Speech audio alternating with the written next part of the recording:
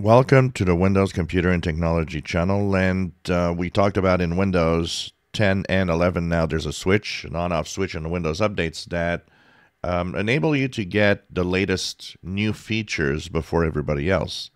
Now, you might want to turn that off if you do not care about new features, but if you do want to see things before everyone, it is there. Now, Microsoft Edge also contains this feature.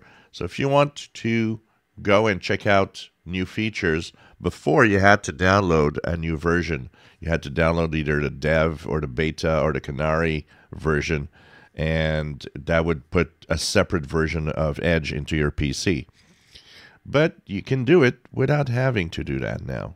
If you go into your Edge browser, upper right corner, three horizontal dots, go into Help and Feedback, and about Microsoft Edge, my uh, thumbnail is uh, apparently not closing.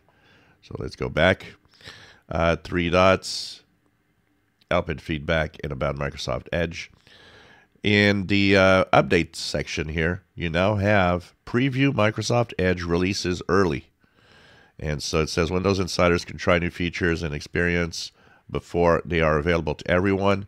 And there's a switch here now, which is a on-off switch. Once you turn this on, you're going to immediately have an update that's going to be pushed to you. And when I tried it uh, today, it pushed me to version 121. So you're kind of one version ahead of the standard version. So if there's new features, new things that are being pushed, you're actually getting these before everybody else on Edge.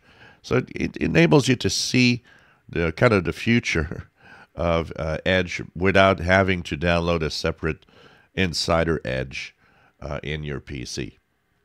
So this is something that you might want to check out if you want to see uh, advanced features before everybody else, or if you hear that there's a new feature in Edge that looks cool and you want to try it.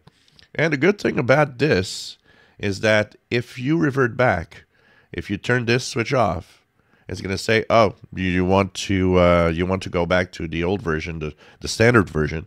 Uh, you know, it works great. It's going to actually, once again, roll an update and you'll be back to the standard version of Edge that everybody uses. So it's a way to go forward and you can actually come back from it easily. If you enjoy my videos, please subscribe, give us thumbs up. Thank you for watching.